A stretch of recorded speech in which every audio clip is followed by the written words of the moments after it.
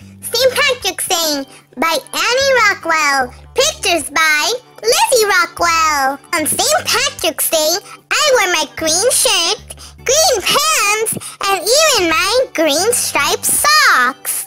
Pablo wore green sneakers. Everyone wears some green on St. Patrick's Day. We worked in teams to finish our St. Patrick's Day reports.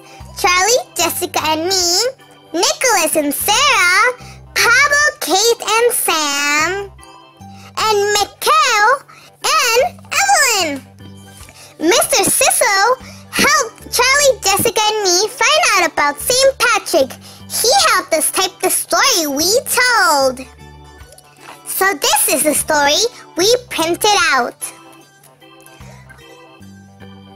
St. Patrick by Evan, Charlie, and Jessica. One bad day, people took St. Patrick from England across the sea to be a slave in Ireland. Patrick was a shepherd. He didn't fight with anyone. But he missed his mother and father, so he escaped. And long before he went back to Ireland and taught people to be kind. Nicholas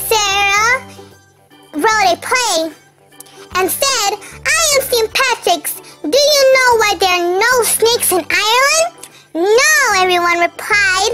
I drove them out, said Nicholas. Sarah was a big green snake slithering across the floor. Nicholas rang his bell and beat his drum. Hiss, hiss, I'm scared, said Sarah. I'm going to run away.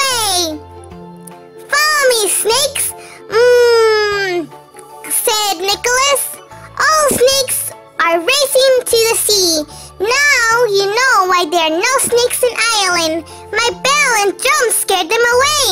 Clank, clank, boom, boom. Pablo, Kate, and Sam love music. Mr.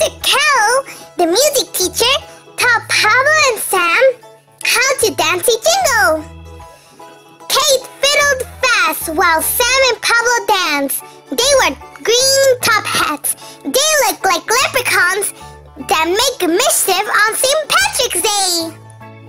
Eveline and Michiko told about a special plant St. Patrick's brought to Ireland. They explained how he planted shamrocks. Shamrocks are tiny, bright green plants with three round leaves.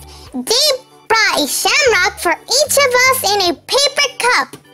I'm going to plant mine in our garden. Mrs. Madoff said so many Irish people came across sea to America that we celebrate St. Patrick's Day whether we're Irish or not. Many Americans are a little bit Irish, but I'm not me. I'm all Irish. My mom and dad were born in Ireland. My grandparents to visit them when I was four.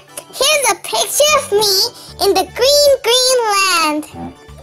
When I got home, Mom was baking soda bread because that's what her mother always did on St. Patrick's Day. People put on their best clothes and wore shamrocks. They went to church to pray the way St. Patrick taught them. When they came home, they had a fine meal with soda bread. We took a loaf to Pablo's mother. She said it smelled delicious. We should have a slice with some hot chocolate. Mmm, yummy! On March 17, we all wear something green because it's St. Patrick's Day.